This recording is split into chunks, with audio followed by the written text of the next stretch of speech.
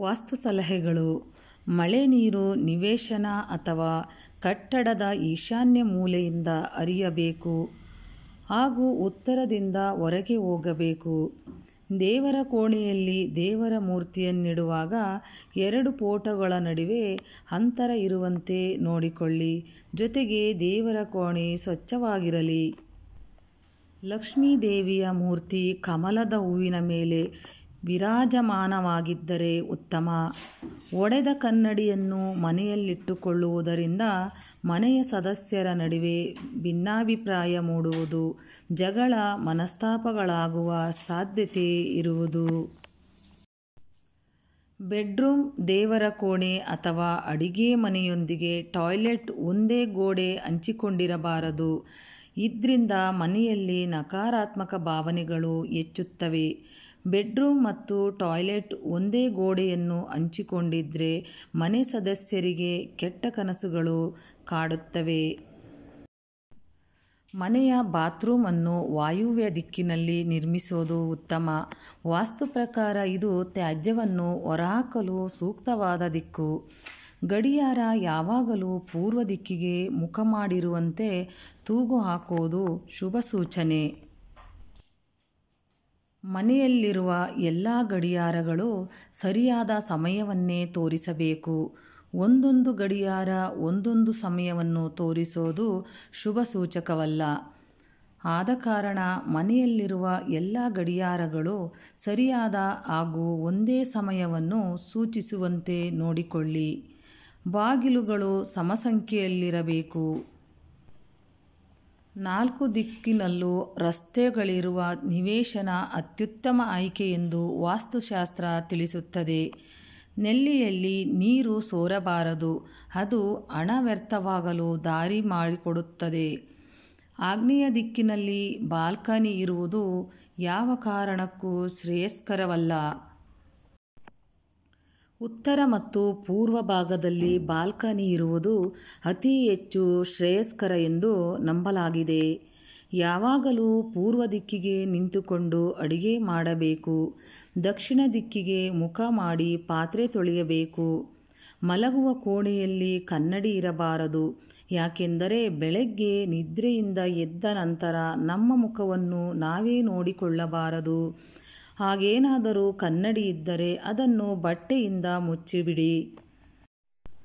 ಪೂಜಾ ಗೃಹದಲ್ಲಿ ಯಾವತ್ತೂ ಕಪ್ಪು ಅಥವಾ ಹಸಿರು ಬಣ್ಣದ ಪೇಂಟ್ ಹಾಕಬೇಡಿ. ಬದಲಾಗಿ ಕಲರ್ ಮಾರ್ಬಲ್ ಬಳಸಿ. ಊಟದ ಕೋಣೆಯಲ್ಲಿ ಕನ್ನಡಿ ಇದ್ದರೆ ಒಳ್ಳೆಯದು, ಆರೋಗ್ಯ ವೃದ್ಧಿಸುತ್ತದೆ. ಊಟ ಮಾಡುವಾಗ ಪೂರ್ವ ದಿಕ್ಕಿಗೆ ಕುಳಿತು ಊಟ ಮಾಡಬೇಕು, ಅಂದರೆ ಸೂರ್ಯ ಉದಯಿಸುವ ದಿಕ್ಕು. ಅನ್ನ ಮಾಡಿದ ಪಾತ್ರೆ ಮತ್ತು ಅಡಿಗೆಯನ್ನು ಮಾಡಲು ಬಳಸಿದ ಪಾತ್ರೆಗಳನ್ನು ತೊಳೆದ ನಂತರ ಮಗುಚಿ ಇಡಬಾರದು. ಅದೇ ರೀತಿ ಊಟ ಮಾಡಲು ಬಳಸುವ ತಟ್ಟೆ ಲೋಟಗಳನ್ನು ಮಗುಚಿ ಇಡಬಾರದು. ಹೀಗೆ ಮಾಡಿದರೆ ಮನೆಗೆ ದರಿದ್ರ ಆವರಿಸುತ್ತದೆ, ಅನ್ನಕ್ಕೆ ಕೊರತೆ ಉಂಟಾಗುತ್ತದೆ. ಬಾಗಿಲಿನ ಮೇಲೆ ಓಂ ಶ್ರೀ ಸ್ವಸ್ತಿಕ ಹಾಗೆಯೇ ಮಂಗಳ ಕಲಶ ಇತ್ಯಾದಿ ಶುಭ ಚಿಹ್ನೆಯನ್ನು ಬಿಡಿಸಬೇಕು.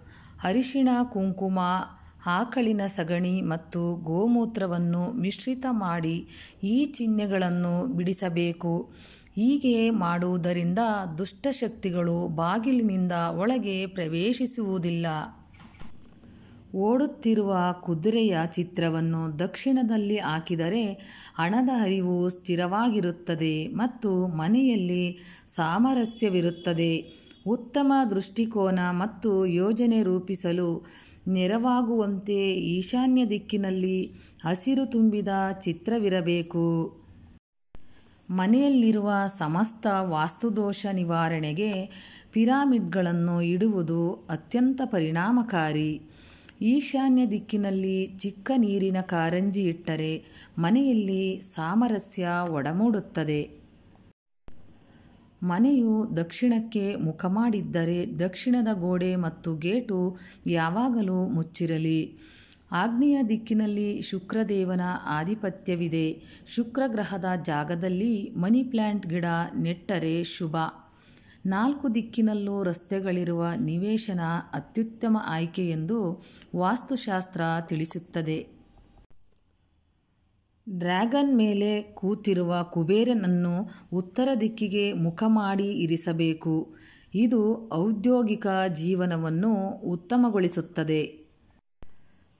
ಅಕ್ವೇರಿಯಂನಲ್ಲಿ ಒಂದು, ಮೂರು, ಐದು, ಏಳು, ಒಂಬತ್ತು ಈ ಸಂಖ್ಯೆಯಲ್ಲಿ ಮೀನುಗಳನ್ನಿಡಬೇಕು.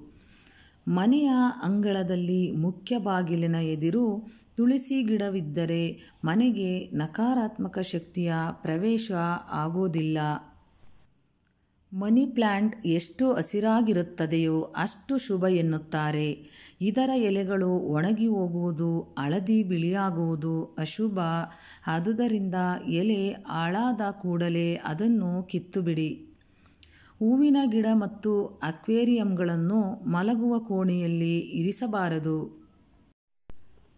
ಮಲಗುವ ಕೋಣೆಯಲ್ಲಿ ಬೀರುವನ್ನು ನೈಋತ್ಯ ಮೂಲೆಯಲ್ಲಿ ಇಟ್ಟರೆ ಒಳ್ಳೆಯದು.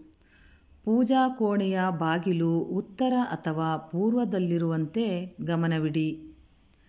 ದೇವರ ಪೂಜೆಗೆ ತಾಮ್ರದ ಪಾತ್ರೆಗಳನ್ನು ಬಳಸಿ. ತಾಮ್ರದ ಪಾತ್ರೆ ದೇವರ ಕೆಲಸಗಳಿಗೆ ಪವಿತ್ರ. ಈ ವಿಡಿಯೋ ನಿಮಗೆ ಇಷ್ಟವಾಗಿದ್ದಲ್ಲಿ ಲೈಕ್ ಮಾಡಿ, ಶೇರ್ ಮಾಡಿ, ಹಾಗೆ ನನ್ನ ಚಾನಲ್ಗೆ ಸಬ್ಸ್ಕ್ರೈಬ್ ಮಾಡಿ. ಎಲ್ಲರಿಗೂ ಧನ್ಯವಾದಗಳು.